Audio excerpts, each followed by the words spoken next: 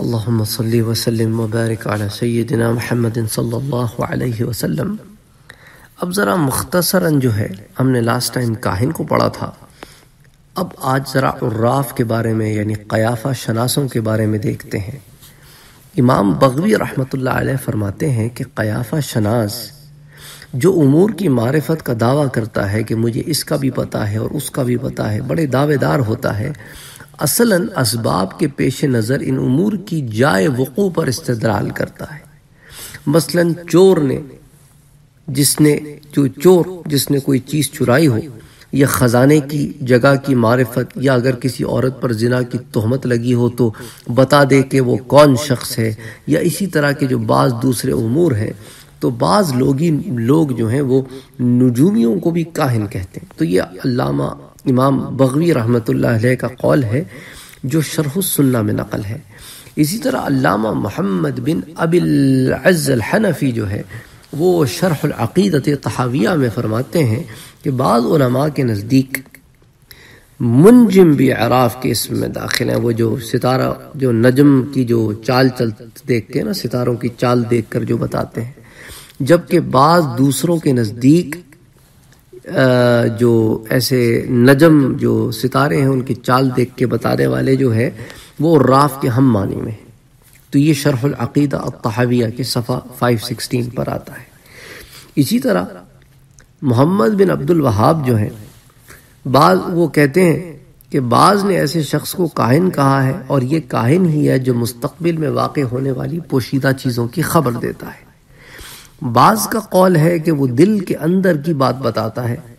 शेखुल इस्लाम इबन तैमिया फरमाते हैं कि कयाफा शनास हो, कि काहिन हो, कि नजूमी हो, कि जायचे बनाने वाला हो, या इस कस्म के जितने भी लोग हैं दूसरे, जो उमूर गैबिया के मुतालिक इस तरह की ख़बरें देते हैं ये सारे के सारे जो हैं, वो काहिन ही की मुख्तलिफ़ फॉर्म्स हैं। तो मजमफ़तावा में और किताब तोहद मुफीद में इबन तैमिया का जो कौल नकल किया है किसने? मोहम्मद बिन अब्दुल वहाब ने। अच्छा इसी तरह जो बिन बाज है, वो जो है इस कौल में से बाज़ कलमात की तशरीफ़ फरमाते हुए लिखते हैं कि मुकदमात यानी वो बाज़ चीज़ों को बेतरतीब रख कर इससे चोरी के माल की जगह का पता लगाता है और कभी इन्हें आसार व कराइन की मदद से, मसलन किसी चौपाए के निशानात या इसके चरवाहे की अलामत से सुराग लगाता है और उससे सुराग भी मिल जाता है। मिसाल के तौर पे जो मक्के वाले थे, हुजूर के ज़माने में बड़े कयाफा शनास थे। यानी क्या? कि वो इतनी ऑब्जर्वेशन होती थी उनकी कि वो जानवरों के कदमों के निशान को तक याद कर लेते थे कि किस बकरी के पैर का क्या निशान है। तो इसीलिए जब हुजूर सल्लल्लाहु अलैहि वसल्लम ने हिजरत की हज़रत अबू बकर के साथ तो मक्के वाले कयाफा शनासों को भी लेके निकले कि कहीं हुजूर के कदम मुबारक हमें मिल जाए तो फिर हम पहचान लें कि हुजूर इस रास्ते से गए हैं। तो इसीलिए जो है कयाफा शनास जो है उस ज़माने में बहुत मशहूर हुआ करते थे। बहरहाल जो है, लेकिन ऐसा कयाफा शनास शख्स काबिल मजम्मत नहीं है जो इस तरह के सुराग लगाता हो।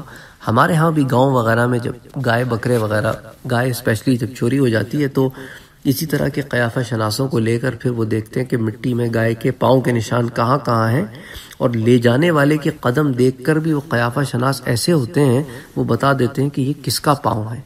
उनको एक इल्म अल्लाह ने दिया है, उसमें उनकी पूरी लगन होती है। तो बहरहाल, ऐसा कयाफा शनास जो सुराग लगाता हो, ये मजम्मत, काबिल मजम्मत नहीं है। बशर्ते कि वो इल्म गैब का दावा ना करे। अच्छा रही वो चीज़ें जिनका इदराक हवास से हो जाता है तो वो इस बाप से मुतल नहीं है और दिल के अंदर की बात से बताने से मुराद नहीं है इनकी, जो, क्योंकि जो गैब की खबरें देता है, उसका दावा नहीं है, वो गलत है। जो ज़ाहिर की चीज़ों को सामने रख के कयाफा शनासी करता है, वो ठीक है।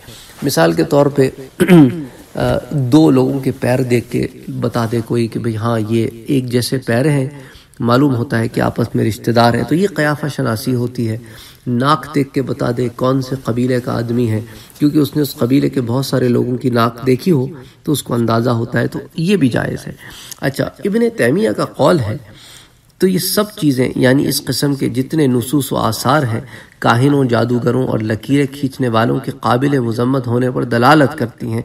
यही वो लोग हैं जो इल्म गैब के दावेदार हैं। अगर इल्म गैब का दावा करोगे तो गलत है। तो तालीक़ुल मुफीद में ये कौल भी आता है। अच्छा शेख अब्दुलरहमान बिन हसन आल शेख फरमाते हैं कि कयाफा शनास वो शख्स है जो कामों को जानने का दावा करता है और बज़ाहिर वो और राफ ही है जो वाक़ात की खबरें देता है। जैसे चोरी और चोर की खबर या गुमशुदा चीज़ और इसकी जगह की इतला देना। तो इब्ने तैमिया फरमाते हैं कि जो कयाफा शनास, नजूमी और लकीरें खींचने वाले वगैरह हैं, जैसा कि जो तखमीना लगाने वाला, जो इल्म गैब या कश्फ का दावा करता है, ये सब काहिन ही के ज़ुमरे में आते हैं। और फिर वो फरमाते हैं कि नजूमी भी और राफ ही में दाखिल है और बाज़ के नज़दीक नजूमी और राफ का ही हम माने हैं। मजीद फरमाते हैं कि इमाम खत्ताबी रहमत के नज़दीक नजूमी काहिन के मानी में दाखिल है। अहले अरब से ऐसा ही मनकूल है, लेकिन दूसरों के नज़दीक वो काहिन की जिन्स से है, बल्कि इससे भी बदतर होता है, लिहाजा बातबार मानी इससे मुलहक है, इससे गिरा हुआ है। इसको मजमल फतावा में शेख अब्दुलरहमान बिन हसन आल शेख ने लिखा है। अच्छा और इमाम अहमद रहमत फरमाते हैं कि कयाफा शनासी जो है, वो जादू का एक टुकड़ा है। जादूगर इससे खबीस्तर होता है। और अबू सादात रहमत का कौल है कि और राफ नजूमी और तखमीना लगाने वाले को कहते हैं, जो कि इल्म गैब का दावा करता है। हालाँकि अल्लाह ने इस इल्म को अपने लिए ख़ास रखा है।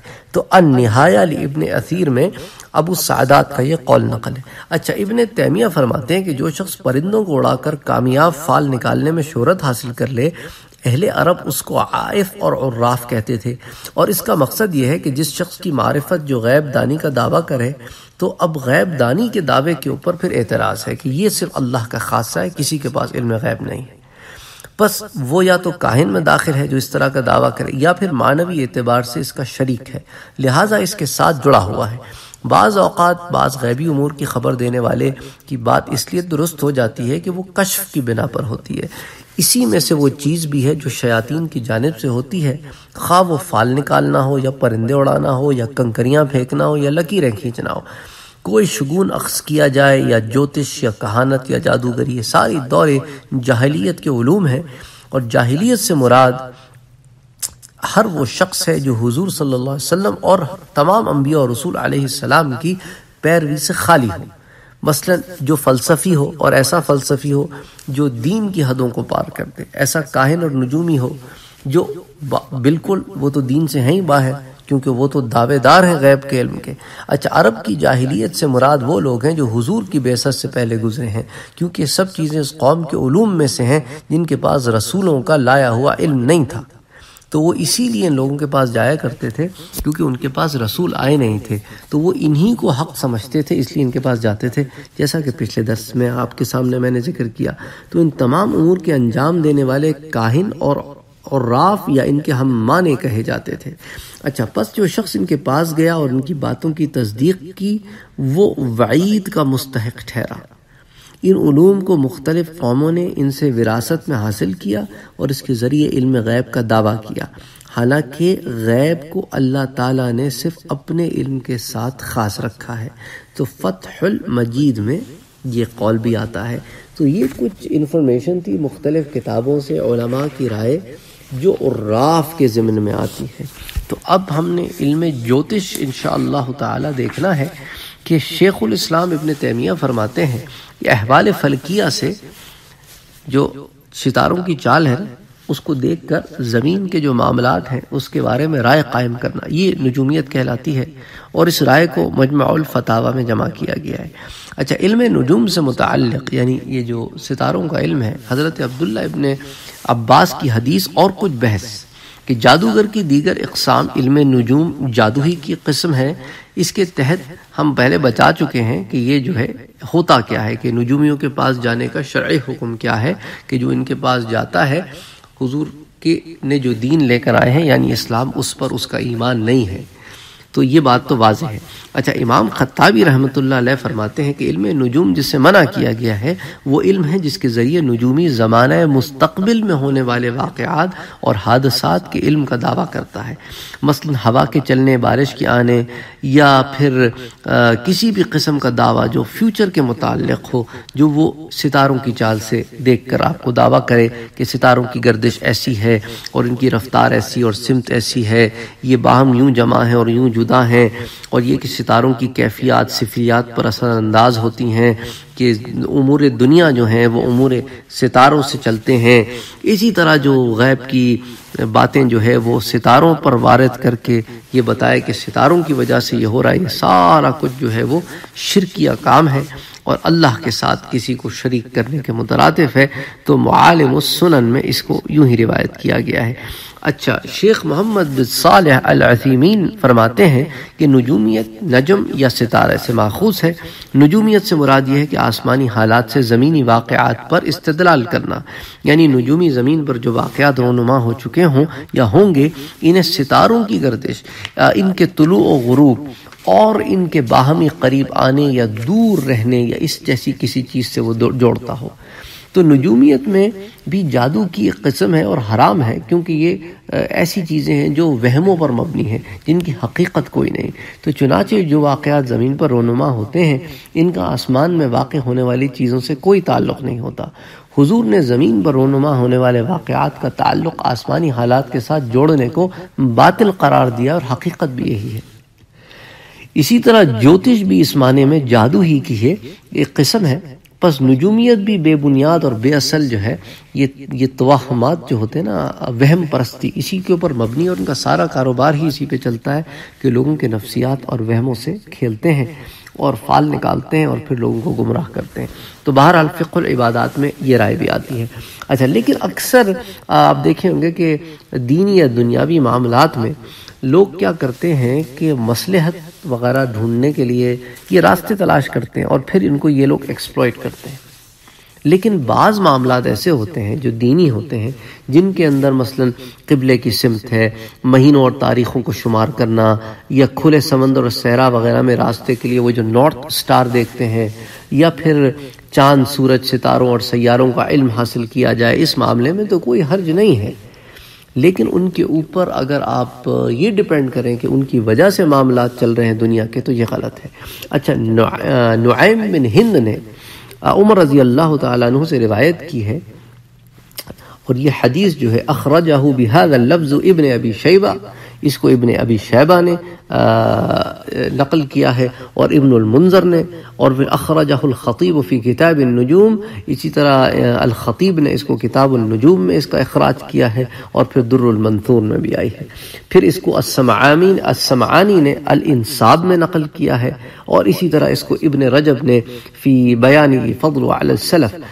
यानी इसको इबन रजब ने भी इसकी अखराज किया बहरहाल कई कुतुब में ये रिवायत आई है। कि हज़रत उमर रज़ी अल्लाह तु से रिवायत है कि इल्म नजूम में से वो सीखो जिससे तुम्हें खुशकी और समंदर में रास्ते मालूम हो सके। इल्म हसब व नसब में से वो सीखो जिससे तुम अपने खूनी रिश्तों यानी सिला रहम को पहचान सको और ये भी सीखो कि औरतों में से कौन तुम्हारे लिए हलाल और कौन हराम है। फिर रुक जाओ, इससे आगे ना जाओ। तकरीबन इन्हीं अल्फाज के साथ हज़रत अबू हुरैरा से भी एक हदीस मरवी है, जिसको इमाम बहकी ने शौबुल ईमान में और इसी तरह जो है इब्न रजब ने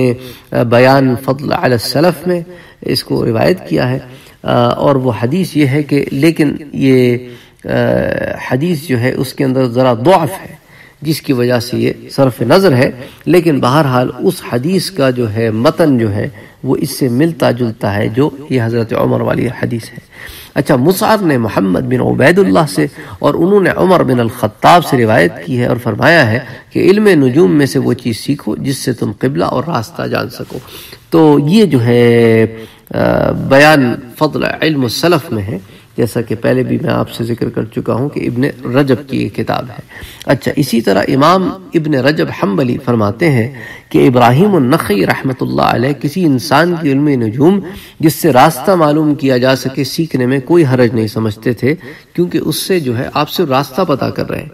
तो इस कौल को, इस असर को, अखरजहू इबन अब्दुलबर फिल जाम में इबन अब्दुलबर लेकर आए हैं। और इसी तरह इबन रजब भी लेकर आए हैं, वक़ाल इसनाद इसकी जो इसनाद है वो दर्ज जैत पर पहुँचती है। अच्छा हरब ने इमाम अहमद और इमाम इसहाक से नकल किया है कि दोनों इमामों ने चाँद की मनाजिल की तामील हासिल करने की इजाज़त दी है और इमाम इसहाक ने तो इस बात की इजाफी इजाज़त भी दी है कि रास्ता दिखाने वाले सितारों के नामों को भी सीखा जाए। लेकिन कतादा ने चाँद की मनाजिल की तालीम को मकरूह करार दिया है। इब्न ओआइना ने भी इसकी इजाज़त नहीं दी है, जैसा कि इन हजरात ने हरब से नकल किया है तो इसको भी बयान फ़ल सलफ में, सफ़ा नंबर थर्टी फोर पे नकल किया गया है। तो मुसलमानों के लिए ज्योतिष और कहानत में से क्या चीज़ ज़्यादा ख़तरनाक है? तो इस सवाल के जवाब में शेख मोहम्मद सालेह फरमाते हैं कि ये लोगों में से इस चीज़ की नशर इशात पर मबनी है। बाज़ मुल्कों में नजूमियत का कतः नाम निशान ही नहीं पाया जाता। ना वो लोग इसकी फ़िक्र करते हैं और ना ही इसकी तस्दीक करते हैं। लेकिन इनके दरमियान कहानत राइज होती है, जो कि ज्योतिष से ज़्यादा ख़तरनाक है। कभी मामला इसके बरक्स भी होता है, उल्टा भी होता है। लेकिन अमर वाक़े के अतबार से कहानत और ज्योतिष में से कहानत ज़्यादा खतरनाक और भयानक। चीज़ है, ये इनका कौल है। शेख मोहम्मद सालेह का कौल है और ये कौल इन्होंने फ़िकुल इबादात में सफ़ा नंबर 67 पर नकल किया है। हदीस शरीफ में आता है कि काहिन और रजूमी के पास जाने की सख्त मवानियत और वईद आई है। हदीस में ये वईद कभी नमाज़ की आदम कबूलियत की है तो कभी कुफर तक पहुँचाने की है। चुनाची इमाम मुस्लिम ने मुआविया बिन हकम से रिवायत की है, फरमाते हैं कि मैंने अर्ज़ किया ए अल्लाह के रसूल, हम में से कुछ लोग परिंदों से फाल निकालते हैं। आपने फरमाया, ये एक ऐसी चीज़ है जिसको तुम अपने दिलों में पाते हो, मगर इससे कुछ नहीं होता। लिहाजा ये चीज़ तुमको किसी काम से ना रोके।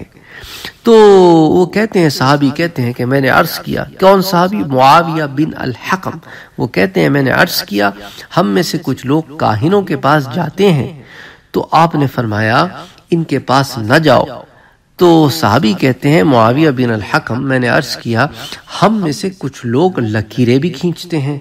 तो आपने फरमाया, एक नबी थे जो खत खींचते थे, जो खत इनके इल्म के मुवाफिक होता, वो उसको जान लेते थे। तो इस रिवायत को इमाम मुस्लिम ने सही मुस्लिम में रिवायत किया है, और शरह सुन्ना में भी आई है, और इसको अल मुसन्नफ में अब्दुल रज़ाक भी लेकर आए हैं। बहरहाल इस ज़िमन में ओलमा ने जो बात नकल की है, वो यही है कि हुजूर ने यही फरमाया कि फाल निकालना वो बिल्कुल बेकार काम है।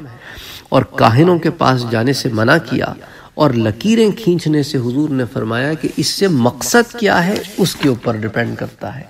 बहरहाल, आजकल जो लकीरें खींचने का मामला है, वो यही दावा करते हैं कि इल्म गैब है तो इस इस नज़र के तहत उनके पास भी जाना बिल्कुल गलत है।